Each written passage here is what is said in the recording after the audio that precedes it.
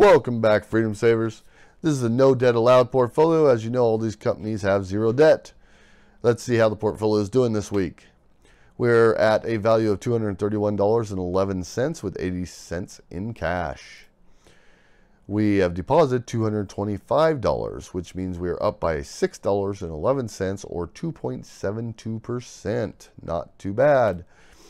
We have earned $2.54 in dividends. We were paid $1.31 of that in January and 27 cents of that so far in February. So we've been paid an overall $2.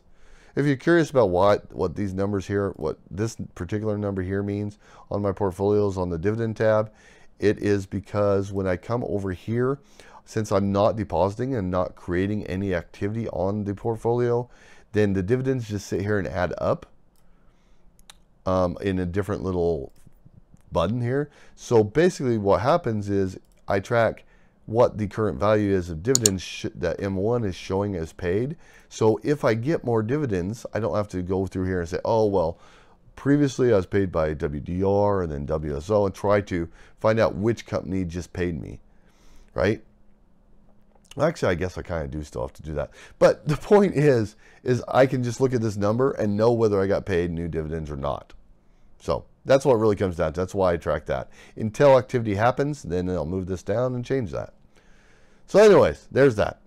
Uh, sorry for the little rant. There's been no dividend changes.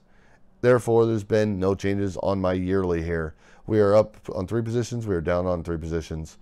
Uh, it's producing $10 a year, basically, with a 4.47% return, which is pretty good.